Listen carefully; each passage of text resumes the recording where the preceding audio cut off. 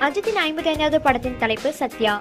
விஷ்ணுவர்தன் இயக்கத்தில் அஜித் நடித்த ஆரம்பம் படத்திற்கு படப்பிடிப்பு முடிந்து படம் வெளியாக இருந்த போதுதான் டைட்டிலை அறிவித்தனர். அந்த அளவுக்கு டைட்டில் விஷயத்தில் அதிகமாக மெனக்கெட்டனர்.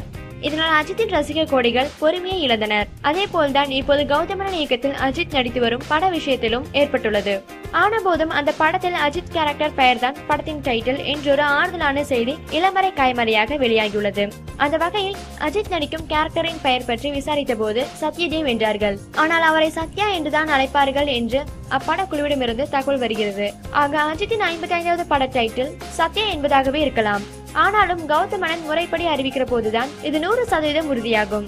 மேலும் சத்யா என்பது கிருஷ்ணா இயக்கத்தில் கமல் நடித்த சூப்பர் ஹிட் படம் என்பது குறிப்பிடத்தக்கது.